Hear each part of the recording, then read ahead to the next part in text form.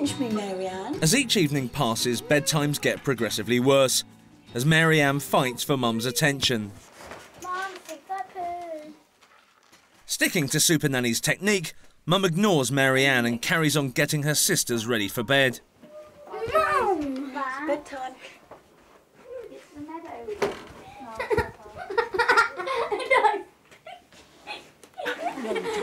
But when Marianne tries to make a break for it, Mum caves in and enters into a debate.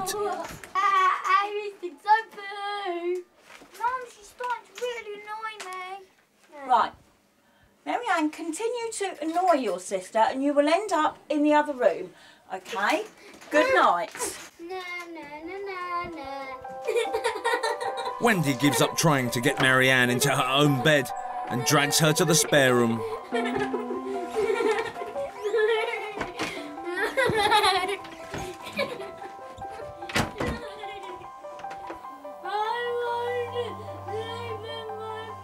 Wendy has totally lost control.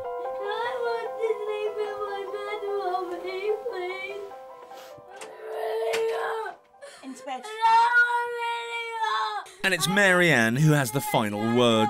Please, mommy, I need to get to the garden, you fat bitch. You are a fat bitch. You are a fat bitch. I really thought I was doing well. Yeah, but tonight I know I lost it. And I do, I feel like I've just, I've gone several steps forward and taken six back. Tonight. Things are really looking up. But bedtime is Wendy's biggest Right. test. We're at the bedtime routine. Yeah. Winding down time. Yeah. We want to create that ambience with everything being very calm, Yeah. very peaceful. I want you to stay very calm. Nobody raising voices, losing their tempers.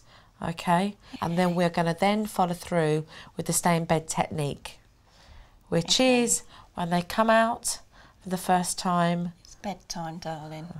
the second time, It's Bedtime. and the third time. Nothing.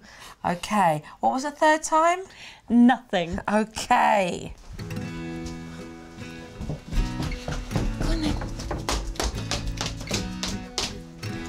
She pulled the bell rope, but nothing happened.